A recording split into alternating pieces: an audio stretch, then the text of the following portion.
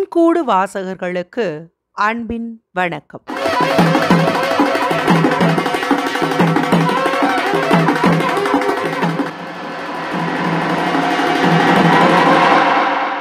வெங்கடேசன் எழுதிய வீரயுகநாயகன் வேள்பாரி ஆடியோ நாவல்.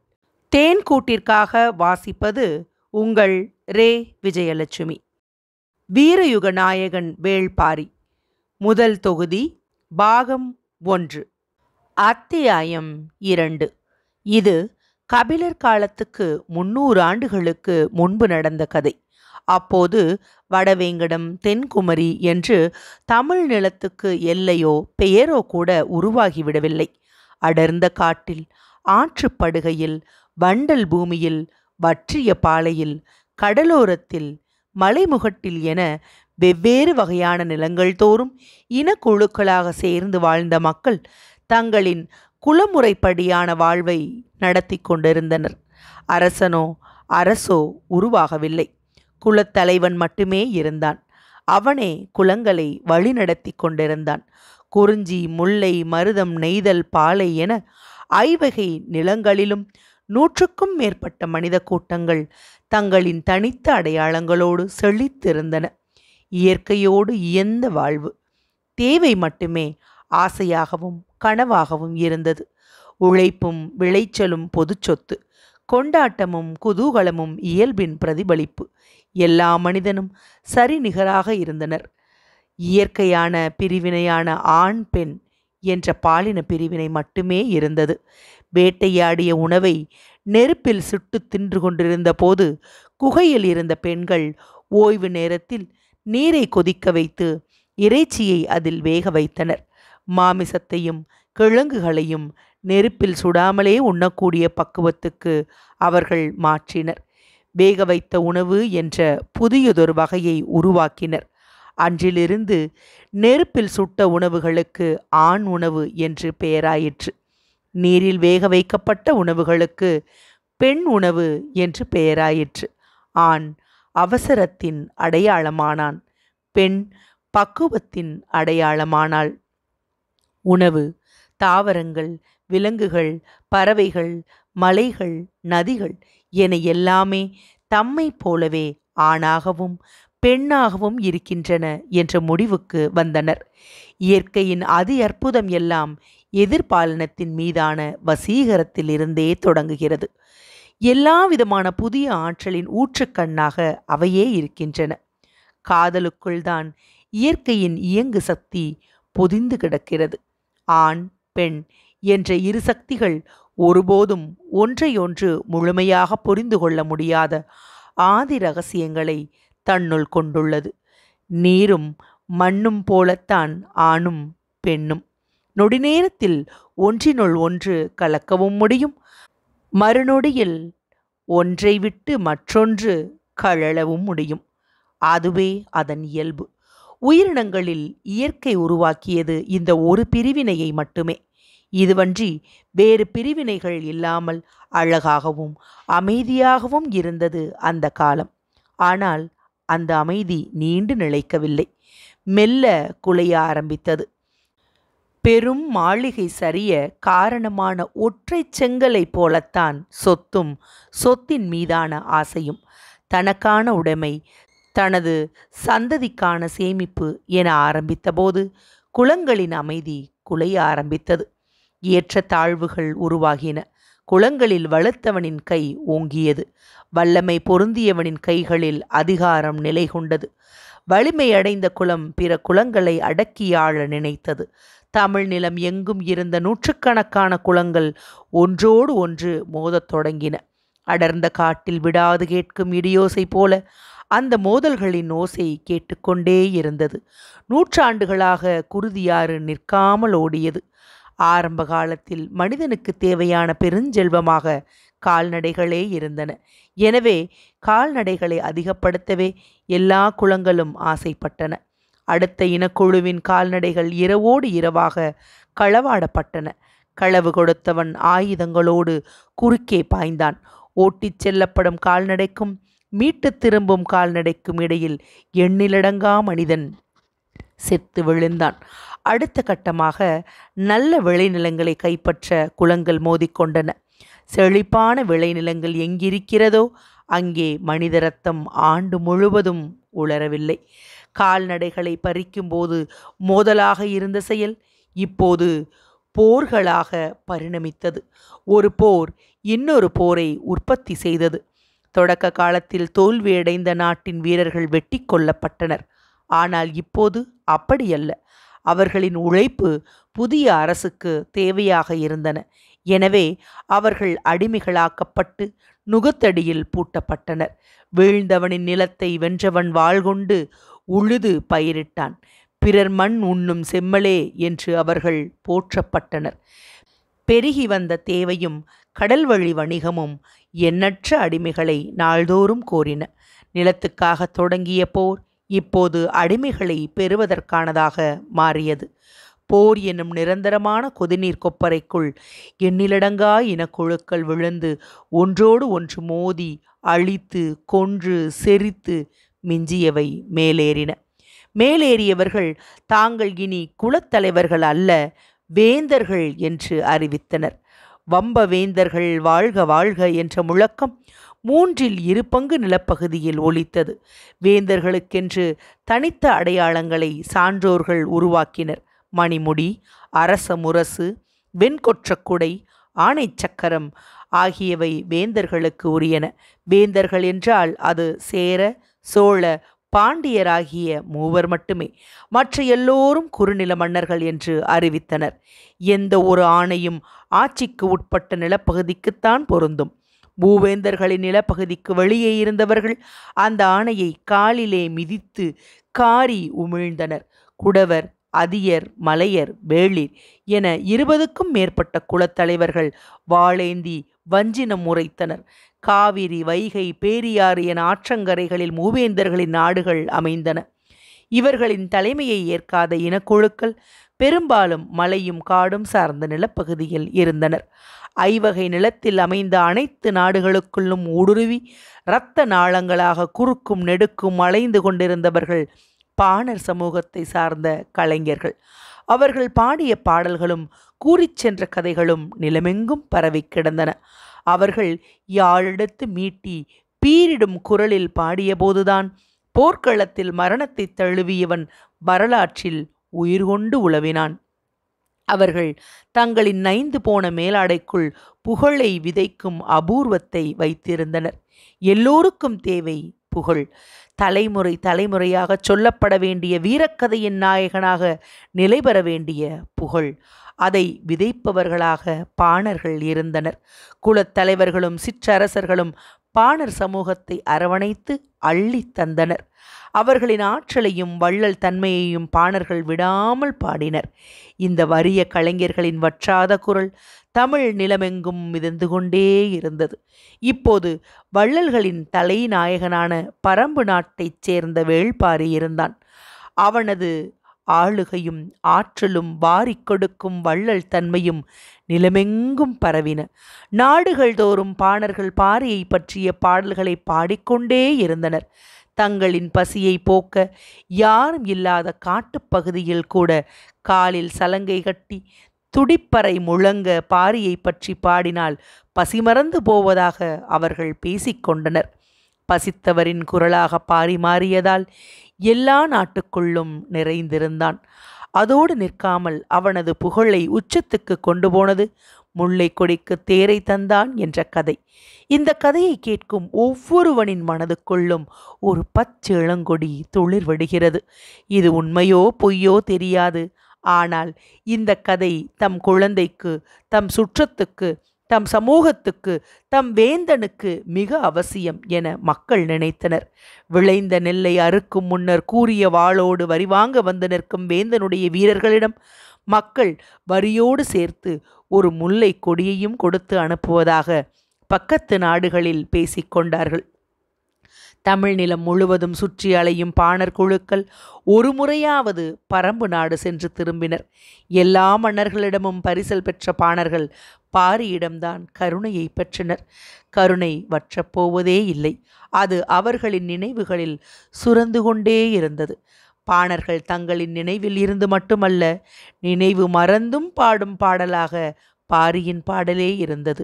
புகார் நகரில் நாளங்காடியில் காவல் புரிந்த ஒரு வீரன் கடை வீதியில் அலைந்து கொண்டிருந்த பாணர் குழு ஒன்றை பார்த்து கேட்டான். பாரி பரம்பை ஆள்கிறானா அல்லது பாணர்களை ஆள்கிறானா? நாளங்காடிக்கு மிக அருகில்தான் பட்டினப்பாக்கம் இருக்கிறது. அதுதான் சோழ நாட்டு வேந்தனும் உயர்குடிகளும் வாழும் பகுதி. காவல் வீரன் கேட்ட கேள்வி விரைவிலேயே பட்டினப்பாக்கத்துக்கு வந்து சேர்ந்தது. சிறிது காலத்திலேயே மூவேந்தர்களின் அரண்மனைகளிலும் அந்த கேள்வி எதிரொலித்தது. இந்த கேள்வி தனக்குள்ளும் ஒரு பதிலையும் கொண்டிருந்தது. அந்த பதில் மூவேந்தர்களின் உறக்கத்தை குலைத்தது. மூவேந்தர்கள் எனும் பேரரசர்களையும் மீறி நிலை பெற்றிருந்தது பாரியின் புகழ். அவர்களால் பாரியை ஒன்றும் செய்துவிட முடியவில்லை. காரணம் பாரியின் மாவீரம் பரம்பு நாட்டின் நிலவியல் அமைப்பு படை வலிமை ஆகியவை எல்லாம் தான் ஆனாலும் சந்தர்ப்பத்தை எதிர்பார்த்து காத்திருந்தனர். இந்த காலத்தில்தான் கபிலர் அருக நாட்டை ஆளும் சிறுகுடி மன்னன் செம்பனின் மாளிகைக்கு தற்செயலாக வந்து சேர்ந்தார். அன்றைய தமிழ் நிலத்தின் பெரும் புலவராக விளங்கியவர் கபிலர். கபிலரை போன்ற புலவர்களே மாற்றரசுக்குள் நுழையவும் அரசனுக்கு அறிவுரை சொல்லவும் போரை தடுக்கவும் அவசியம் என கருதப்பட்ட தாக்குதலை நடத்தவும் காரணமாக இருந்தார்கள். அவர்கள் நிலமெங்கும் சுற்றி அலைந்தபடி இருந்தனர். கடற்கரையில் காய்ந்த மீனும் ஆயர்குடியின் தயிர் மத்தும் இவர்களின் பாடலில் சுவையை கூட்டின. பாலை நிலத்தின் ஊன்சோறும் குறிஞ்சி நிலத்தின் புளித்த கல்லும் தமிழ் கவிதைகளை செழிப்புறச் செய்தன. கபிலர் பரம்பு நாட்டுக்கும் போனதில்லை வேள்பாரியை சந்தித்ததும் இல்லை. ஆனால் பாரியை பற்றி பாணர்கள் மீண்டும் மீண்டும் பாடியபோது அவருக்கு வியப்பை விட ஐயமே வலுப்பெற்றது. எல்லோராலும் அதிகம் புகழப்படும் ஓரிடத்தில் பிழைகள் மலிந்திருக்கும். யாருடைய கவனத்தையும் சிதைக்கும் ஆற்றல் புகழுக்கு உண்டு. அதற்கு அடிமையாகாதவர்களை அது சந்தித்தது இல்லை என்ற அகம்பாவம்தான் புகழின் ஆணிவேர். எனவே புகழால் நிலை பெற்றுள்ள ஒன்றின் மீது இயல்பான கசப்பு கபிலருக்கு உருவாகியிருந்தது. நடுநாட்டு அரசன் வேண்மானை காணச் சென்று கொண்டிருந்த கபிலர் பயண களைப்பின் மிகுதியால் சற்று ஓய்வெடுத்துச் செல்லலாம் என்று முடிவெடுத்தார். வாளியாற்றங்கரையில் அமைந்த செம்பனின் அரண்மனையை நோக்கி தேரை ஓட்டச் சொன்னார். பாணர்களின் கூத்தை பகலெல்லாம் பார்த்திருந்த செம்பனுக்கு மாலையில் திடீரென கபிலர் வந்தது பெரும் மகிழ்வை தந்தது. பச்சை நிற குப்பியில் நிறைந்து வழியும் கல்லோடு தொடங்கியது அன்றைய இரவு.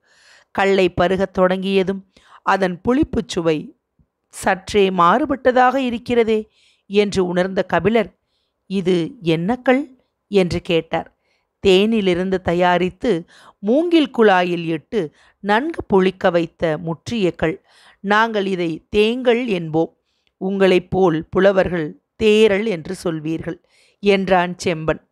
அப்போது வீரன் ஒருவன் உண்பதற்காக கரித்துண்டங்களை குளிசிப்பானை நிறைய கொண்டு வந்து வைத்துவிட்டு போனான்.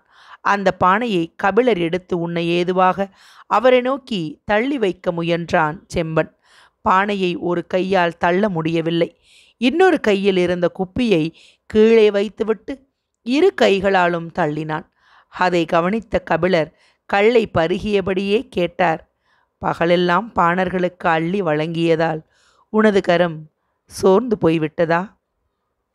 இல்லை பெரும்புலவரே அவர்களுக்கு அள்ளி வழங்கும் நல்வாய்ப்பு எதுவும் இன்று எனக்கு கிடைக்கவில்லை. ஏன்? அவர்கள் பரம்பு மலையில் பாரியை பார்த்துவிட்டு வருபவர்கள். எடுத்துச் செல்ல முடியாத அளவு பொருட்களோடு தான் இங்கு வந்தார்கள். என்னை நன்கு அறிந்த கீழ்குடிப்பாணர் கூட்டம் அது. எனவே என்னோடு விருந்துண்டு ஆடி கழித்துவிட்டு போனார்கள். நெய்யிலே வறுத்தெடுத்த மான்கரியின் கால் சப்பையை கடித்து இழுத்தபடி கபிலர் கேட்டார் பரம்பு நாட்டுக்கு போய் திரும்புகிறவர்கள் இந்த பக்கம் ஏன் வந்தார்கள்? அருக நாட்டின் தென் திசை எல்லை பச்சை மலை தொடரில்தான் முடிகிறது. அந்த பக்கம் இருக்கும் வேட்டுவன் பாறையின் வழியாக பரம்பு மலைக்கு போகும் பாதை ஒன்று உண்டு. ஆனால் அது முறையான பாதை அல்ல. அதில் எப்படி இவர்கள் இறங்கி வந்தார்கள் என்று தெரியவில்லை. என்று சொல்லியபடி தனக்கான கரித்துண்டை எடுத்து கடைத்தான். பாதையை முறையற்று வைத்திருப்பது அரச குற்றம் என்றார் கபிலர். மலைப்பாதையை பாதுகாப்பது கடினமல்லவா? எனக் கேட்டான் செம்பன். அவன் தேருக்கு முக்கியத்துவம் கொடுத்திருந்தால் பாதையை பாதுகாத்திருப்பான். முல்லைக்கு கனிவு காட்டியவன் பாதையை கைவிடத்தான் வேண்டும். கைவிடப்பட்ட பாதையால் வணிகம் வளராது. வணிகம் பெருகாத நாட்டில் வளம் கூடாது. வளமற்ற நாட்டில் நிறைந்திருப்பது மக்களின் கண்ணீர் துளிகளே. பரம்பு நாடு வளமிக்கது. அது மட்டுமல்ல பாரியை பார்க்க போன யாருமே பாதை தவறியோ காட்டு விலங்குகளிடம் சிக்கிக்கொண்டோ வழி தெரியாமல் இடர்பட்டதாகவோ நான் கேள்விப்பட்டதில்லை என்றான் செம்பன்.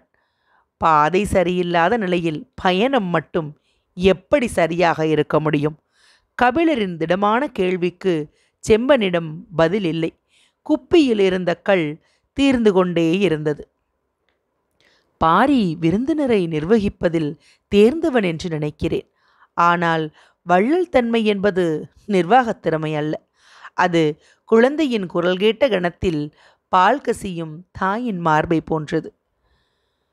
நீங்கள் பாரியை வள்ளல் இல்லை என்கிறீர்களா? பாரியை வள்ளல் என்றோ சிறந்த அரசன் என்றோ என்னால் இப்போது சொல்லிவிட முடியாது. தான் பேசும் வார்த்தைகளை உணர்ந்தவாறே கபிலர் சொன்னார். நாளை காலை நான் வேட்டுவன் பாறை வழியாக பாரியின் பரம்பு நாட்டுக்குள் நுழைவேன். செம்பன் அதிர்ந்து பார்த்தான். நடுநாட்டுக்கு அல்லவா போவதாகச் சொன்னீர்கள்? நாம் தீர்மானித்தபடி எல்லாம் நடந்து விடுவது இல்லை. வார்த்தைதான் நம்மை வழிநடத்துகிறது. ஒரு குப்பிக்கல் பல நேரம் வரலாற்றையே மாற்றியிருக்கிறது. யார் அறிவார்? ஒரு கையால் நீ பானையை தள்ளாமல் போனதால் இன்னும் என்னென்ன நடக்கப் போகிறதோ? கபிலரின் வார்த்தையை கேட்டு செம்பன் ரசித்துச் சிரித்தான். மறுநாள் காலை கபிலரை பரம்பு நாட்டுக்கு பாதுகாப்போடு அழைத்துச் செல்ல ஒரு படையோடு செம்பன் தயாராக இருந்தான். நான் பரிசோதிக்க நினைப்பது பாரியை உனது படைபலத்தை அல்ல. கபிலரின் குரல் படையுடன் சேர்த்து செம்பனையும் சாய்த்தது. தனித்த தேரில் கபிலர் புறப்பட்டார். கபிலர் தனது துணிச்சல் கொண்டு பாரியை அளவிட முடிவு செய்து வேட்டுவன் பாறையின் வழியே மேலே ஏறினார். எங்கிருந்தோ வந்த நீலன் அவருடன் இணைந்து கொண்டான். இப்போது வரை அவருக்கு பிடிபடவில்லை. அவன் வந்து இணைந்தது தற்செயலா அல்லது நிலைத்த ஏற்பாடா? ஆனால் நீலனுக்கு பிடிபட்டிருந்தது கபிலர் காலில் ஏற்பட்டுள்ளது தசைப்பிடிப்பு. அது நேரம் ஆக ஆக வலியை கூட்டும். இந்த இடத்தில் ஆபத்து அதிகம். எனவே பேச்சை கொடுத்தபடி விரைவாக தனது குடிலுக்கு அழைத்துச் செல்ல வேண்டும் என முடிவோடு வேக வேகமாக முன்னகர்த்திச் சென்றான். வானில் பறவை கூட்டங்கள் வரிசை வரிசையாக கூடு திரும்பிக் கொண்டிருந்தன. இரவின் வாசற்கதவு திறக்கப் போகிறது. பசுவின் மடுவில் இரவு பால் சுரக்கத் தொடங்கியிருக்கும். மண்ணை பார்க்க முடிகிற வெளிச்சம் இன்னும் எவ்வளவு பொழுது நீடிக்கும் என்று யோசித்தபடி நீலன் விரைவு கொண்டு நடந்தான். கபிலர் ஏதோ கூப்பிடுவது போல் இருந்தது. திரும்பி பார்த்தான். அவர் ஒன்றும் சொல்லவில்லை. ஆனால் அவரது முகக்குறியை அவனால் உணர முடிந்தது. மலையிறக்கம் இன்னும் சிறிது தொலைவுதான். அதன் பிறகு சமதரைதான் என்று சொல்லி ஒரு கையை பிடித்து அவருக்கு உதவினான். நான் சிறிது நேரம் உட்கார்ந்து கொள்ளவா? குரல் தளர்ந்து ஒரு குழந்தையைப் போல கேட்டார் கபிலர். அவனோ கீழே இருக்கும் அந்த பனையடிவாரம் போய்விடலாம் என்று சொல்லி உட்கார விடாமல் கீழிறக்கிக் கொண்டிருந்தான். அவருக்கு வலி அதிகமாகிக் கொண்டே இருந்தது. சமதரைக்கு வந்தவுடன் பனைமரத்தின் அடிவாரத்தில் அவரை அமர வைத்துவிட்டு சிறிது நேரத்தில் வந்துவிடுகிறேன் என்று சொல்லி தெற்கு பக்கமாக ஓடத் தொடங்கினான். கபிலருக்கு வலி அதிகமாகிக் கொண்டே இருந்தது. இவ்வளவு வேகமாக எதற்கு ஓடுகிறான் என்று யோசனை தோன்றியது. ஆனால் இப்போதாவது உட்கார விட்டானே என்று நிம்மதி பெருமூச்சு விட்டார். நேரமாகிக் கொண்டிருந்தது. பனை மட்டைகளும் பணந்தாள்களும் எங்கும் கிடந்தன. அதை பார்த்து கொண்டிருந்தவருக்கு திடீரென சந்தேகம் வந்தது. ஒருவேளை அவளை பார்க்க போய்விட்டானோ? அடுத்த குன்றை தாண்ட வேண்டுமே. எப்படி இருட்டுவதற்குள் வந்து சேருவான்? பெண்ணின் இதழ் சுவை பற்றி நாம் கொஞ்சம் சொல்லியிருந்தால் போகாமல் இருந்திருப்பானோ? இல்லை இல்லை. சொல்லியிருந்தால் அப்போதே புறப்பட்டு போயிருப்பான். எண்ணங்கள் ஓடிக்கொண்டிருக்க அதே வேகத்தோடு நீலன் வந்து நின்றான். கைகளில் பச்சிலைகள் இருந்தன. இதை வாயில் போட்டு மெல்லுங்கள் என்றான். என்ன இலை இது? முதலில் இலையை வாயில் போட்டு மெல்லுங்கள். கால்வழி நின்ற பிறகு கேளுங்கள் சொல்கிறேன் என்றான். கபிலர் பச்சிலையை மென்றார். சிறிது நேரம் கழித்து இருவரும் நடக்கத் தொடங்கினர். பச்சிலை பறிக்கப் போவதாக இருந்தால் என்னை முதலிலேயே உட்கார விட்டிருக்கலாமே. ஏன் வலுக்கட்டாயமாக பனைமரம் வரை கீழே இறக்கினாய்? பனைமரம் எங்களின் குலச்சின்னம். மனிதனுக்கு மட்டுமல்ல பரம்பு மலையின் எல்லா உயிர்களுக்கும் அது தெரியும். அதனிடம் ஒப்படைத்துவிட்டு போனால் எந்த ஆபத்தும் வராது. அதனால்தான் பனை அடிவாரத்தில் உங்களை உட்கார வைத்தேன். தனது எண்ணத்துக்கும் அவனது எண்ணத்துக்கும் இருக்கும் வேறுபாட்டை உணர்ந்தபோது கால் வழியை தாண்டிய ஒரு வழியை உணர்ந்தார் கபிலர். தென்னை எத்திசையும் வளைந்து வளரக்கூடிய தன்மையுடையது. பனையோ தன் இயல்பிலேயே செங்குத்தாக வளரக்கூடியது. இயல்புதான் ஒன்றின் குணத்தை தீர்மானிக்கிறது. வளைந்து கொடுக்காத பரம்பு நாட்டின் இயல்பு பனையிலும் பனைமரத்தின் இயல்பு பரம்பு நாட்டிலும் நிலை கொண்டுள்ளது. முள்ளம்பன்றியைப் போல அடி முதல் நுனி வரை உடல் சிலிர்த்தபடி வளரும் பனைமரம் பரம்பு நாட்டின் ஆவேச அடையாளம். அதன் நிழலிலேதான் பாதுகாக்கப்பட்டிருக்கிறோம் என்ற உண்மை கபிலருக்கு விளங்கிய போதுதான். இன்னொன்றும் விளங்கியது. நீண்ட பொழுதுக்கு முன்பே பாரியின் பாதுகாப்புக்குள் தாம் வந்துவிட்டோம் என்பது அத்தியாயம் இரண்டு நிறைவுற்றது.